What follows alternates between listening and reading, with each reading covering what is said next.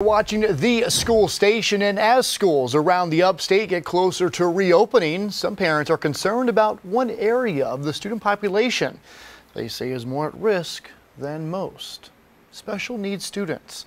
Tonight we spoke to a parent who is worried neither the virtual or in-person offerings will give her son what he needs to stay safe and healthy. Matt Kaufax live tonight with more on her story.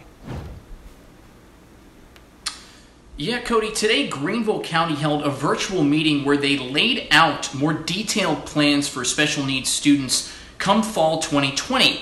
One parent tells me she'd like to see more of that in all counties across the upstate and the state of South Carolina for that matter as the anxiety mounts for her and many others in her same position.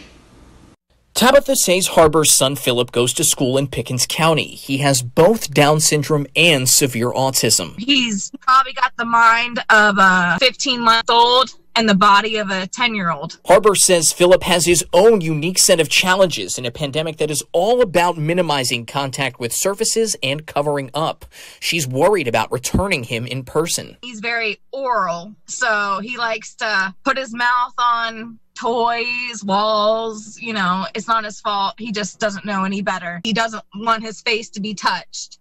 So there's no way he would ever wear a mask. And although Pickens has a virtual academy, she says it'll be ineffective for her son as well. I don't think special needs children are being thought of in this new process. is very scary, and I don't know what to do. Today in Greenville County, the district addressed their special needs plans in greater detail. If a family chooses to enroll their child in our virtual program, we will hold an IEP meeting to talk about how things will be different. Assistant Superintendent Tracy Hogan says the biggest question for the 11,000 students they have on IEPs is can it be done? We're going to need to teach a lot of students about social distancing. We'll have visual cueing and throughout the building. She says instruction plans will have to be modified and they are making every effort they can to include instructors who know the student in the process. But Harbor says she can't see how it'll ever work. What about the kids that won't wear a mask? What about the kids that are going to lick all the toys or lick all the walls or, you know, like, I hate to say it, but that's what's going to happen. What about the germs?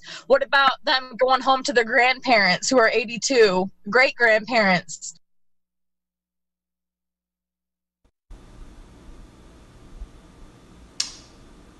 And Tabitha tells me that she's not 100% sure what she wants to do yet. She is weighing all of her options right now, but she hopes that speaking out about this will shine a light on the issue and possibly even spurn some further action to make it safer for those students who she says need it the most and are the most at risk. In Greenville tonight, Matt Kaufax, Fox Carolina, the 10 o'clock news. Matt, things coming up. We have more details about how Pickens County is preparing to return to school and for the latest on school plans.